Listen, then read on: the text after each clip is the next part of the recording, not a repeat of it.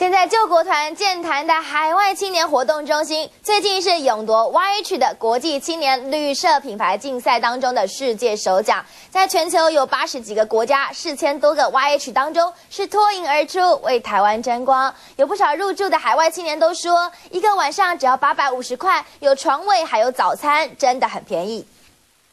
早餐吃 buffet，有火腿、炒面、蛋以及饮料等等，比照了星级的饭店的伙食。每道菜还标明热量，贴心的设计让人印象深刻。还有无线上网服务，可以自己带 notebook，随时掌握旅游讯息。林先生说，这里就像是自己的家。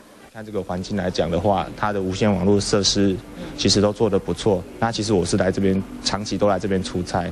两个人一间的房间有独立的卫浴设备，里面有有线电视、有冷气、有小冰箱。一个人一个晚上的价格是八百五十元的价格，而且离捷运又很近。住在这里的海外青年都满意的不得了。Pretty good. It's really cheap. Um. and it's just like a hotel. The, the, rooms are like big and there's air conditioning. There are like lots of uh, friendly and young people over here, and um, yeah, it's just like a. It feels like a hotel rather than a youth hostel. So I feel like I'm I'm in a good in a good spot right now.